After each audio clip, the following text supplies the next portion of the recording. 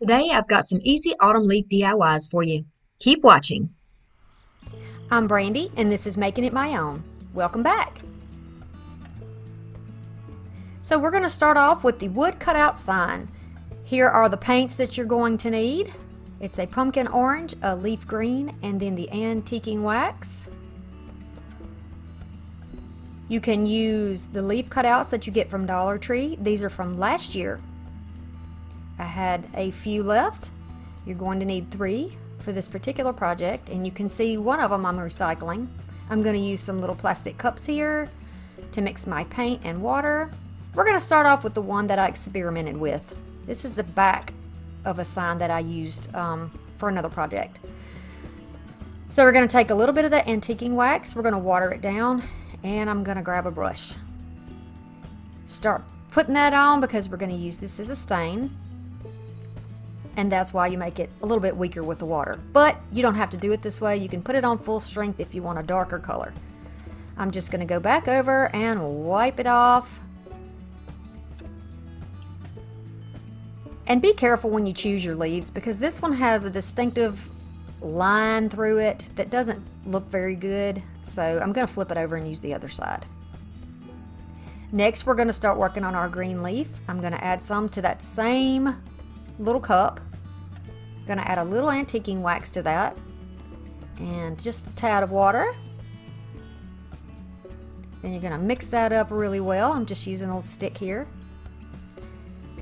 Sometimes it can be the texture of the antiquing wax a little different from the acrylic paint, so you really got to work with it to get them to mix. They kind of want to separate um, from my experience.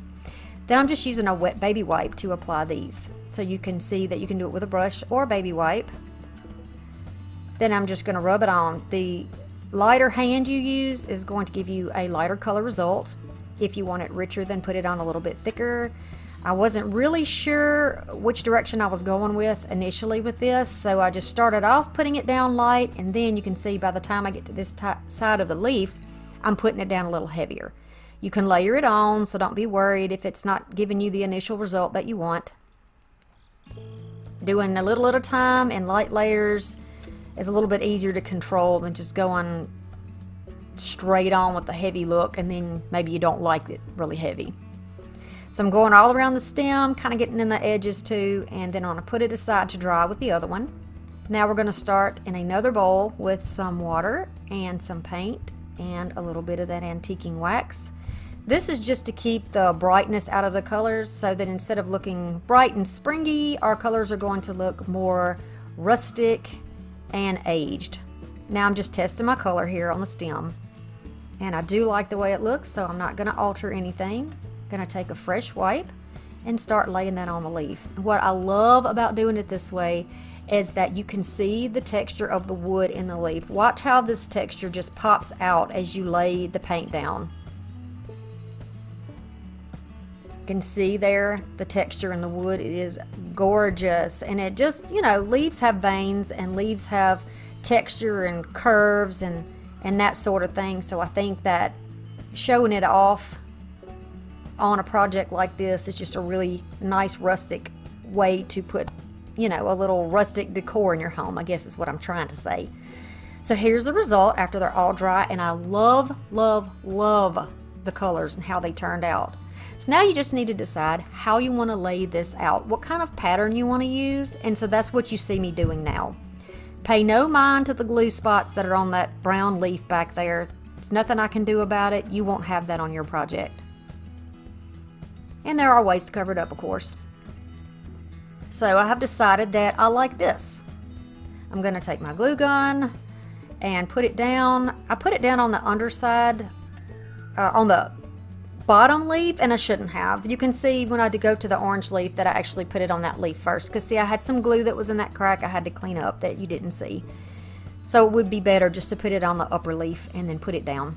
You don't have any mess left over or peeking through all those cracks if you do it this way. You don't have to put it on straight like this. I don't know why.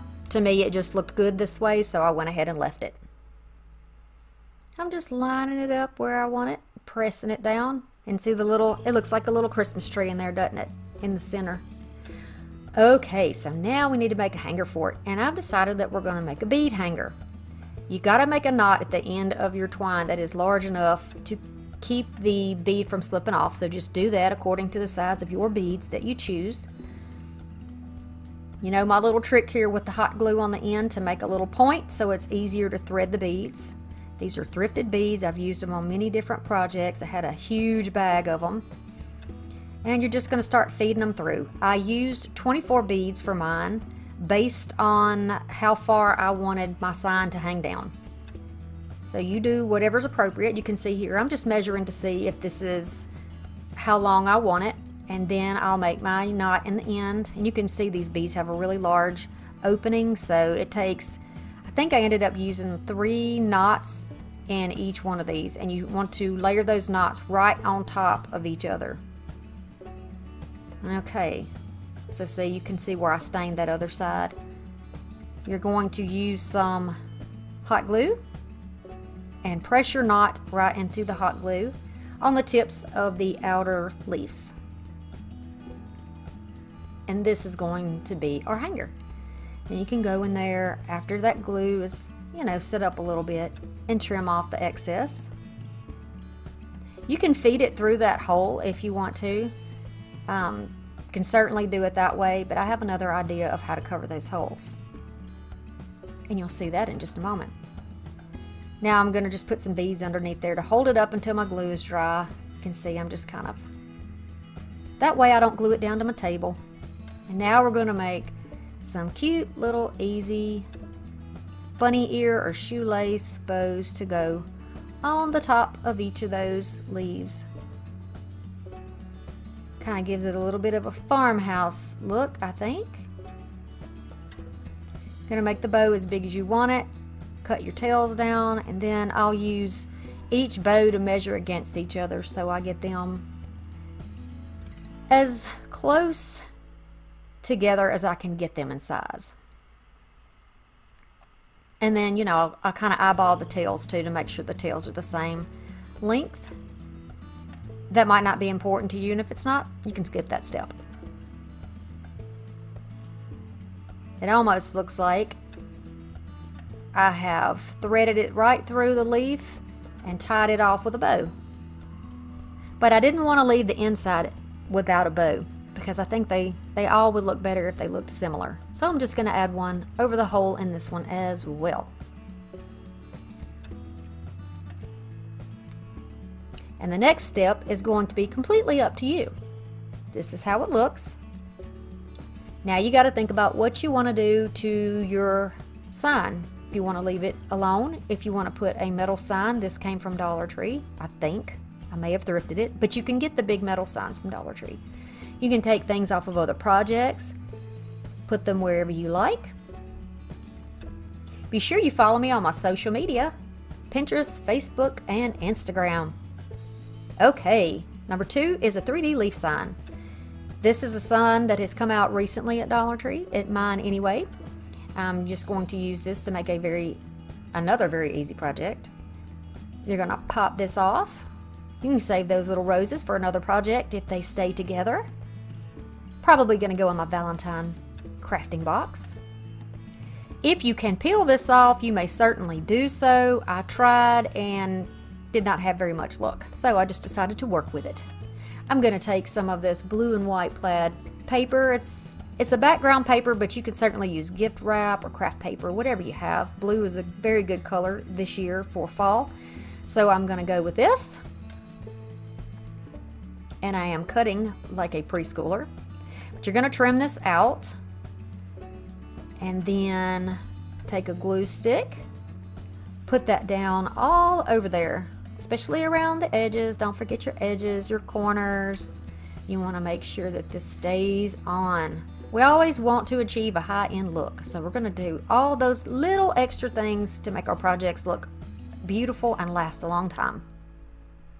So once I get that lined up, and I know it's a plaid, so you want to be sure that you kind of line it up so you know that you don't have crooked um, lines whenever you turn your project over. So that's what I did, and then I'm just pressing it down. And I put my mat underneath there because I know that I'm going to be trimming this paper off. It's not important to use any type of uh, sanding on this because it's going to be inside the frame and you won't really see it. I'm taking my Dollar Tree utility knife. It's in a three pack, so be sure you pick those up if you are looking for some. I think it was in the automotive section. And then trim that out. Doesn't have to be perfect because like I say, it's going to be in a frame.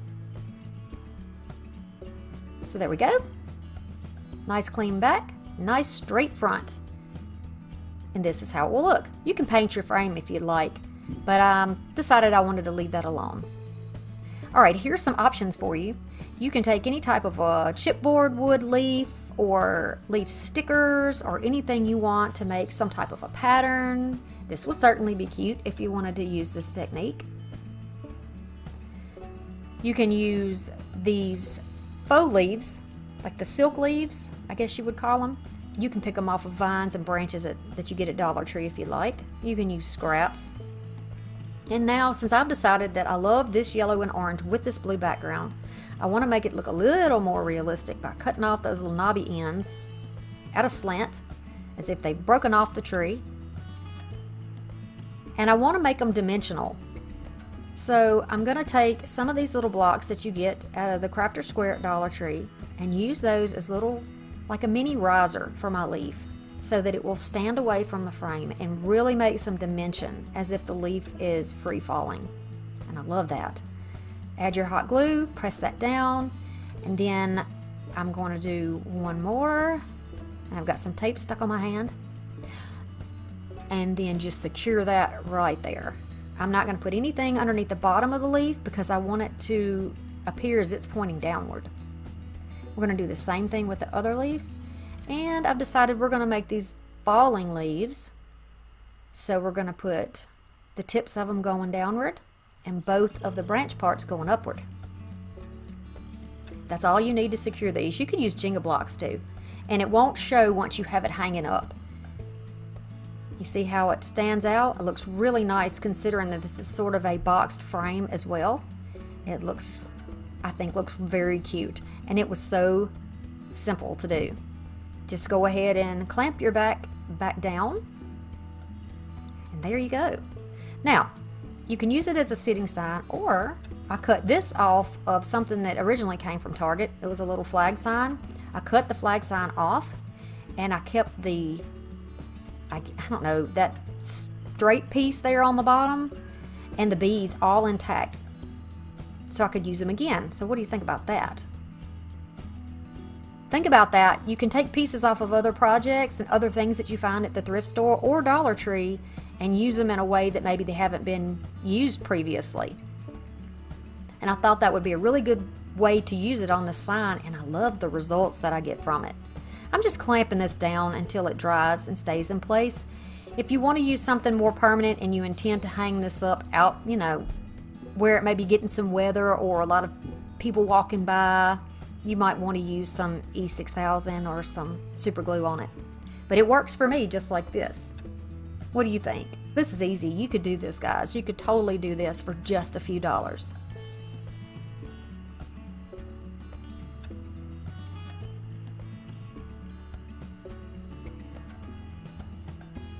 And remember, it's inspiration. Number three, mini leaf sitter. Okay, this is the third one, and this is easy too. We're going to use the craft knife. We're going to use some type of a base. I'm just going to use a wood round ornament. I have a square leaf. You can find these about anywhere. And then a little pad of fall paper.